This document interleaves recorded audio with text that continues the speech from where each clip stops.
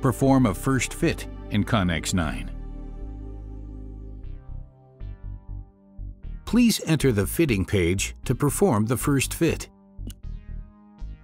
Set the acoustical parameters that match your client's needs for the right and left ear. Under the tab Critical Gain, you can perform a critical gain measurement to reduce the risk of feedback. You can check and configure available fitting formulas on the Fitting Formula tab.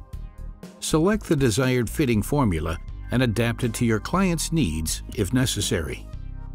Additionally, you can create an individual hearing profile for your client. Now, click First Fit. A green check mark appears on the First Fit section in the side navigation to show that a first fit has been performed.